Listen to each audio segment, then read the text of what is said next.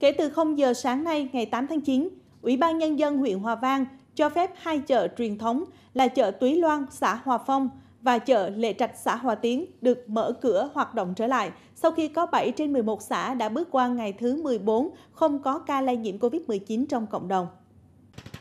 Ngoài số lượng tiểu thương cho phép hoạt động để cung ứng nguồn thực phẩm phục vụ người dân trong suốt thời gian giãn cách xã hội, theo quyết định số 2788 và 2860 của Ủy ban Nhân dân thành phố, thì nay Ban Quản lý các chợ huyện Hòa Vang nới lỏng, mở rộng một số mặt hàng thiết yếu theo quy định, nhưng không quá 30% tiểu thương kinh doanh tại chợ. Kèm theo đó là đảm bảo các quy định nghiêm ngặt trong công tác phòng chống dịch bệnh. Mấy bữa trước là bón cho à, bộ tổ trưởng bữa thâu là cũng ít số lượng, còn bữa nay à, bón được cho người dân. À, người dân cũng tới cũng đông hơn mấy bữa trước, cũng có hòn bón được nhiều hơn. Gần cả tháng qua là bữa nay được đi chợ là cũng thấy